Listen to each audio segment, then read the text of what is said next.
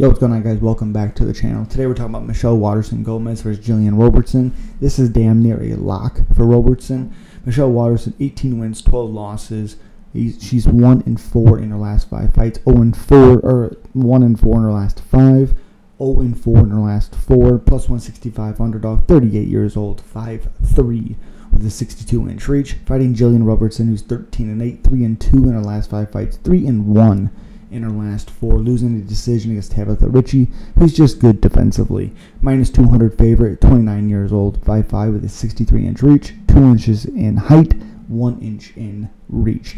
I just think Robertson does well in this matchup. I don't think necessarily her striking is going to be all that, not necessarily uh, successful, but damaging.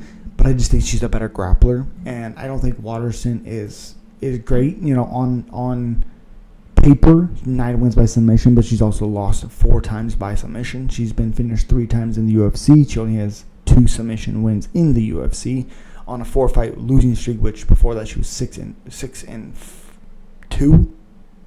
Wow, no, six and four. Jesus, count, idiot. But uh, yeah, I like Gillian Robertson. I think she does very well. I just think it's a lot of control time, a lot of um, um, uh, like probably mount or side control. Her takedowns are decent against Waterson. She's gonna be using a lot of footwork. I like Robertson. I think she gets it done. Subscribe, like, comment.